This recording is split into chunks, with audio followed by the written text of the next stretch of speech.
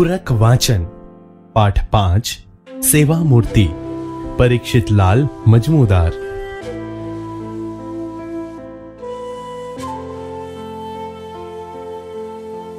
બાળ દોસ્તો હવે આપણે લેખકના જીવન વિશે પરિચય મેળવીએ.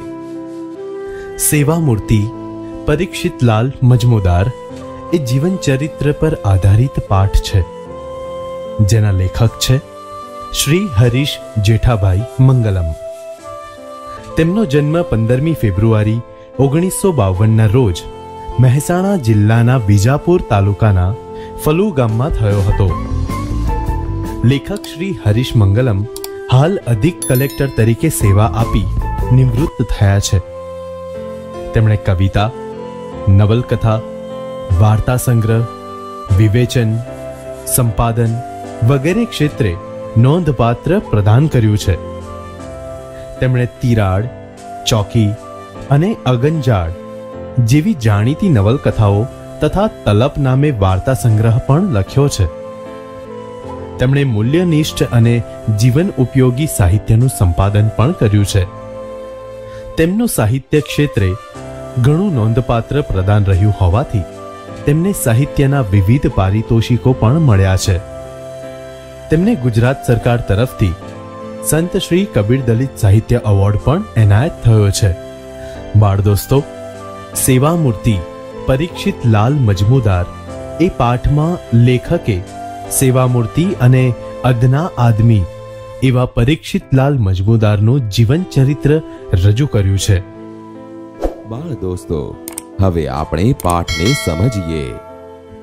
સેવા મૂર્તિ પરીક્ષિત લાલનો જન્મ આઠમી જાન્યુઆરી ઓગણીસો એકના રોજ ભાવનગર જિલ્લાના પાલીતાણા ગામમાં થયો હતો. તેમના પિતા લલ્લુભાઈ દેશી રાજ્યમાં શિરસ્તેદાર હતા. તેઓ જ્ઞાતિએ કાયસ્થ બ્રાહ્મણ હતા. પરીક્ષિત લાલ નાના હતા. ત્યારથી જ તેમનામાં બીજાને મદદરૂપ થવાનો ગુણ વિકસ્યો હતો. પાલીતાણામાં પછાત વર્ગના લોકોને પોસ્ટ ઓફિસમાંથી પોસ્ટકાર્ડ લાવી લખી આપતા. આ ગુણ એમણે મૃત્યુ સુધી જાળવી રાખ્યો. તેમની ઈચ્છા ભણીને ડોક્ટર થવાની હતી. તેઓ હોશિયાર વિદ્યાર્થી હતા. મેટ્રિકમાં સારા માર્ક્સ હતા, જેથી મુંબઈમાં ગોકળદાસ તેજપાલ બોર્ડિંગમાં પ્રવેશ મળ્યો હતો. આ બોર્ડિંગમાં ફર્સ્ટ ક્લાસ વિદ્યાર્થીને જ પ્રવેશ મળતો. તેમનું શરીર ગોરું, સ્વસ્થ અને સુડોળ હતું. ચહેરો હસમુખો હતો. દેખાવમાં આકર્ષક હતા. આ તેમનું બાહ્ય રૂપ હતું. અંતરનું રૂપ તો એનાથી પણ વધારે આકર્ષક હતું. કામ કરવાની નિષ્ઠા, શુદ્ધ ચારિત્ર્ય અને દ્રઢ સંકલ્પથી એમના અંતરનું રૂપ દીપી ઉઠતું હતું. એ સમય ગાંધીજીની આઝાદીની ચળવળનો સમય હતો. આખા ભારત દેશમાં આઝાદીના આંદોલનોનો માહોલ હતો. ગાંધી બાપુની હાકલથી અંગ્રેજી શિક્ષણનો બહિષ્કાર કર્યો. અમદાવાદ આવ્યા અને દેશભક્તિથી પ્રેરાઈને ગુજરાત વિદ્યાપીઠમાં જોડાયા. આસુદમલ ગિદવાણી ગુજરાત વિદ્યાપીઠના આચાર્ય હતા. ત્યાં આચાર્ય શ્રી ગિદવાણીનું માર્ગદર્શન મળ્યું. અર્થશાસ્ત્ર વિષય સાથે સ્નાતક થયા. ભણતા ભણતા વાડજ અને પાલડી પાસેના કોચરબ ગામના દલિતવાસમાં ગુજરાત વિદ્યાપીઠે શરૂ કરેલી રાત્રિ શાળામાં અધ્યાપન કાર્ય શરૂ કર્યું. આશ્રમમાં રૂં પીંજી, પૂણી બનાવી, જે દસ પંદર રૂપિયા કમાતા હતા, તેમાંથી પોતાનું ગુજરાન ચલાવતા હતા. આચાર્ય શ્રી વિદ્વાણીના ટુમોરો નામના માસિકનું પ્રૂફ જોવામાં મદદ કરતા. રાત્રિ વર્ગોના અધ્યાપન કાર્યને લીધે દલિત જન સેવા જ તેમનું જીવન કાર્ય બની ગયું. લોકોના માનસ પર ધર્મની જડતાની જબરી પકડ હતી. જે કોઈ આ લોકોની સેવાનું કાર્ય કરતા, તેને તિરસ્કારતા અને બહિષ્કાર કરતા. એવા કપરા સમયમાં પરીક્ષિત લાલ મજમુદારે સેવાને પોતાનો જીવન મંત્ર બનાવ્યો હતો. દલિત જન સેવાને પોતાનું શ્રેય અને પ્રેય સમજી મામા સાહેબ ફડકે પાસેથી સેવાની દીક્ષા લીધી. પૂજ્ય મોટા મામા સાહેબ ફડકે અને ઠક્કર બાપા સાથે અંત્યજ સેવા મંડળમાં એમણે સહમંત્રી તરીકે કામ કર્યું. પરીક્ષિતલાલ કર્મયોગી હતા. રાત દિવસની પરવા કર્યા વગર સતત ગામડા ખૂંદતા રહેતા. પ્રવાસેથી થાકીને આવ્યા હોય તો પણ બાળકોને નવડાવતા. કપડાને સાબુ ઘસતા શીખવતા. શાક સમારતા. ચોખાને મોણ દેતા અને ગીતો ગવડાવી આનંદ આપતા. બાળકોને માની મમતાથી જમાડતા. આ એમનું મનગમતું કામ હતું. હરિજન સેવક સંઘના તેઓ સ્થાપક સભ્ય હતા. પછીથી તેના મંત્રી અને પ્રમુખ બન્યા હતા. તેમણે નવા છાત્રાવાસો અને રચનાત્મક પ્રવૃત્તિઓ શરૂ કરાવી હતી. તેમણે ગાંધી બાપુની અસ્પૃશ્યતા નિવારણની ઝુંબેશ પણ આગળ ધપાવી હતી. લોકો દૂર દૂરથી એમને મળવા આવતા. તેમના પ્રશ્નોને એક ચિત્તે શાંતિથી સાંભળતા હતા. તેઓ દલિત બાળકોનો શાળા પ્રવેશ, બસમાં બેસવા દેવા માટેનો સત્યાગ્રહ, મંદિર પ્રવેશ, શિક્ષિતોને ટકાવારી મુજબ નોકરીઓ અપાવવી વગેરે પ્રશ્નોમાં આઠે પહોર, તડકો છાંયડો જોયા વગર ને થાકની પરવા કર્યા વિના તન, મન અને ધનથી મદદ કરતા. જ્યાં એ લોકોને અન્યાય થતો ત્યારે એમનું હૃદય દ્રવી ઉઠતું. આવી સેવાને લીધે પરીક્ષિતલાલ મજમુદારને સૌ કોઈ ઓળખતા હતા. ઉનાળાના ધૂમધકતા તાપમાં એક દિવસે ચાલતા જતા હતા.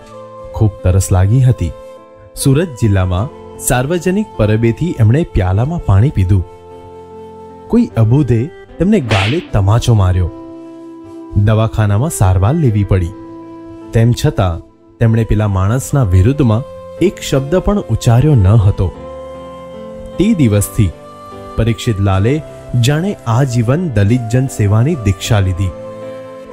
ત્યાર પછી દલિતના વકીલ બનીને ગુજરાતમાં જ નહીં, પણ આખા ભારત દેશમાંથી અસ્પૃશ્યતા દૂર કરવાને સફાઈ કામદારોના માથેથી નરકના ડબ્બા હટાવવા બેખ લીધો. પરીક્ષિત લાલે આઝાદીની ચળવળમાં અદના લડવૈયા તરીકે નાગપુર ઝંડા સત્યાગ્રહ, ઓગણીસો ત્રેવીસ.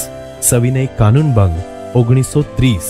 તથા હિન્દ છોડો આંદોલન, ઓગણીસો બેતાળીસમાં સક્રિય ભાગ લીધો અને કારાવાસ ભોગવ્યો. એમની દલિત જન સેવા અને રાષ્ટ્રભક્તિ જોઈને ગાંધી બાપુએ કહ્યું હતું કે પરીક્ષિતલાલ માણસ નથી, પણ દેવ છે. જો પરીક્ષિતલાલ જેવા થોડા સેવકો મને મળ્યા હોત, તો અસ્પૃશ્યતાની જડ ભારતમાંથી ઘણી વહેલી નીકળી જાત. એમના સમયમાં આખો આશ્રમ એક પરિવાર જેવો હતો. આશ્રમમાં સ્ત્રીઓ પ્રત્યે તેમનું હૃદય કરુણાસભર રહેતું. સૌને પિતા જેવો પ્રેમ આપતા. તેઓ બહેનોના આંસુ સહન કરી શકતા નહોતા. આશ્રમમાં તેમના વડીલપણા નીચે પૂજ્ય બબુમાશી, પૂજ્ય અમીનાબેન, પૂજ્ય આઈ લક્ષ્મીબેન ખરે. પૂજ્ય વિમળાબહેન પટેલ જેવી બહેનો હતી. ગમે તે વ્યક્તિ ગમે ત્યારે તેમની પાસે નિઃસંકોચ પહોંચી પોતાની મુશ્કેલી રજૂ કરી શકતી હતી. બહેનોના કિસ્સામાં લગીરેય શેષ શરમ રાખ્યા વિના ગમે તેવી વ્યક્તિ પાસેથી ખુલાસો માગતા.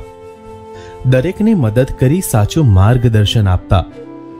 દીકરીઓ માટે તેમણે વિનય મંદિર અને અધ્યાપન મંદિરની સ્થાપના કરી. દીકરીઓ શિક્ષિત બની આર્થિક સ્વતંત્રતા પ્રાપ્ત કરે અને સ્વમાનથી જીવન જીવે, તેવું તેમનું ધ્યેય હતું. વિદ્યાર્થીની પીટીસી પાસ કરે કે તુરંત તેને નોકરી મળે તેવા નિષ્ઠાભર્યા પ્રયત્નો કરતા. ચારે બાજુ એમની એવી છાપ હતી કે એક ફોન માત્રથી છોકરીઓને નોકરી મળી જતી. ગામડામાં કોઈ છોકરીઓને તકલીફ પડતી તો તે પોતે ગામમાં પહોંચી જતા અને તકલીફ દૂર કરવાના પ્રયત્ન કરતા.